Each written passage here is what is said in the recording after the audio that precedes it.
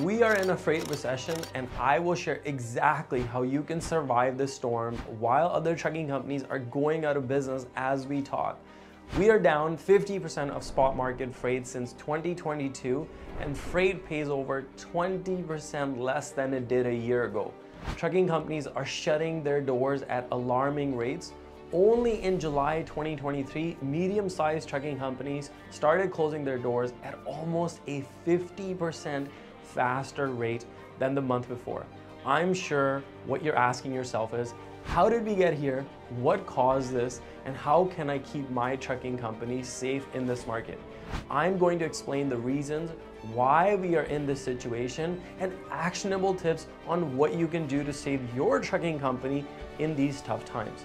Before we go any further, make sure you subscribe to this channel, hit the notification bell because we upload a new video every week that will help your trucking company become successful in these difficult times. Now, there are four ways you can keep yourself safe from the freight recession, and some of them will actually surprise you. Not all trucking companies are going to fail, and the ones that pull through aren't lucky. There are strategic steps they will have taken. In this video, we will also talk about what these strategic steps are and how you can implement them in your trucking business.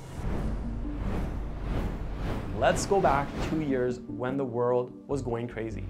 And most of us were locked in the house. The trucking industry was flooding with new trucking companies from mid 2020 to the beginning of 2022.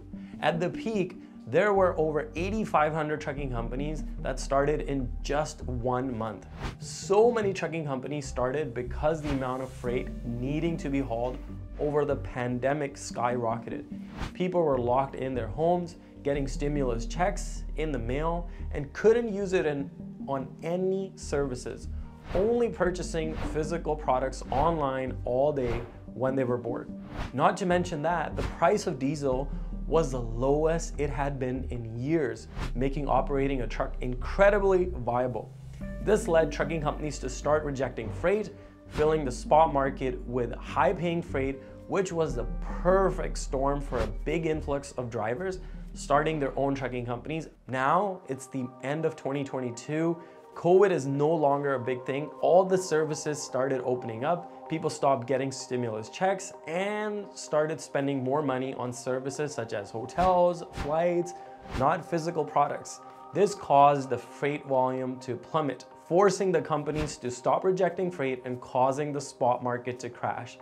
While the spot market was crashing, we still saw a massive increase in new trucking companies who still believed it was going to be a market for trucking companies, which led to the spot market crashing even harder.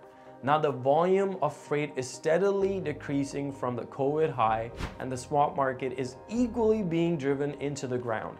Now the average American's purchasing habits are not the only thing that caused the freight market to hit the low that it is at right now. Most of the manufacturing for the US is done overseas. And we aren't the only ones that felt the effects of COVID.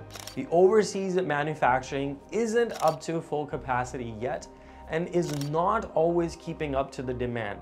And even if they were, the US has had problems with processing large volumes of import products at their ports for almost two years now. Now, due to what they claim are labor shortages, it wouldn't be unreasonable to say that the trucking industry is in a tight spot right now. Many trucking companies will be forced to close their doors, and the ones that will make through the freight recession will have had a solid strategy and game plan to safeguard themselves against this storm. The first and the easiest thing you can do right now is look at the freight that is insulated through this recession. Let me explain what I mean by that. Makeup or cosmetics are one of the most recession-proof industries. Cold called and emailed those types of companies or accounts who have loads like these. Get working with them. Even if they don't pay enough, it is replenishing goods, items, which means people need them over and over, such as food. This opens up the possibility of building rapport with the company, which could lead you to more freight in the future. Let me give you another example. Healthcare. or pharmaceutical companies are the best industries to be in because people are going to get sick and need healthcare. These loads rarely slow down. They may get snagged, but not decrease in volume. The second thing you can do to safeguard your trucking company is to try haul different types of freight. It's kind of a subsection of the first one that I shared with you, but a little different. You may not be able to pivot that easily, but let me give you ideas that are still going to help you no matter what. The grain industry is not affected by what's happening right now. I have trucking companies who haul grain in hopper trailers that are rejecting 50 to 60% of freight they could haul.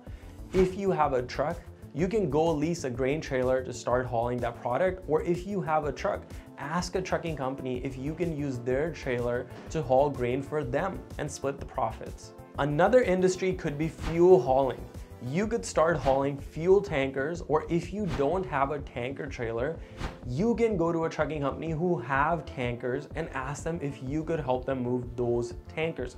Everyone likes to make money and if these trucking companies want to make money, they will bite on that offer. This is another easy option you can do right now to pivot and start making money with your trucking business. Livestock hauling, military equipment, bridges, construction machinery, or over-dimensional freight such as wind turbines, all are very insulated industries from the highs and lows of the freight market. Start cold calling and emailing those companies and accounts who have these types of loads. It is the fastest way to make your trucks start making money again. It's going to take some time to change gears, but do you really have another choice? No one knows how long the market will stay like this. Six months, 12 months, 18 months, who knows? Focus on building relationships with direct customers. It's hard, I get it, but persistence is key. I know what you're thinking. Big trucking companies have all the major accounts. Guess what?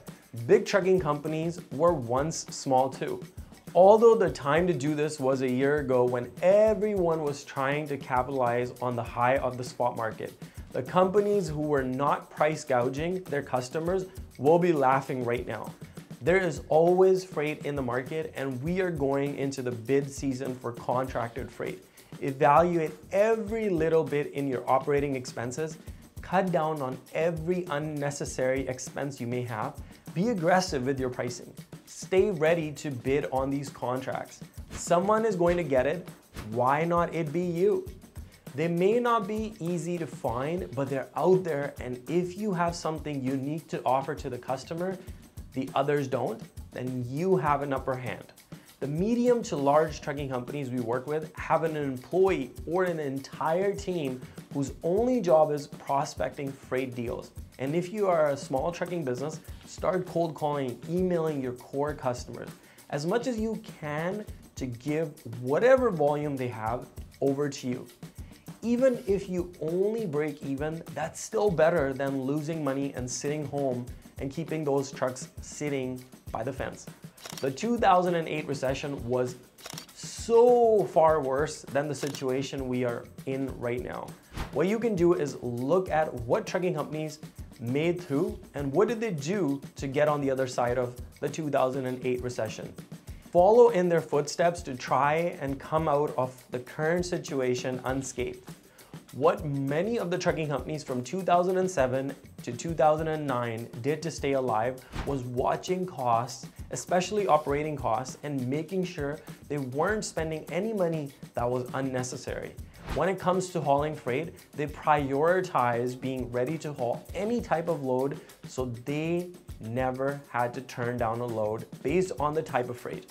Look at every single expense you have and really evaluate if you need it. When the business is good, we all start buying and signing up for services, softwares that we really don't need. I'm personally guilty of doing that. Make a list of all your recurring expenses and highlight the ones you don't need. You don't use much of, and most importantly, things you can live without and cancel them right now. It's time to be smart and wise. A fool can make money when it's a good market. The ones who survive the storm are the real businesses. The freight market is doing a number on the trucking industry. Although this is nothing that hasn't been seen before, most will pull through. If you cannot cut some costs, switch up some of your freight and be a prospecting machine for potential customers, then you should be able to get through this. I have no way of knowing if you like this video. Leave a comment down below and if you found it useful, thanks for watching and I'll see you in the next video.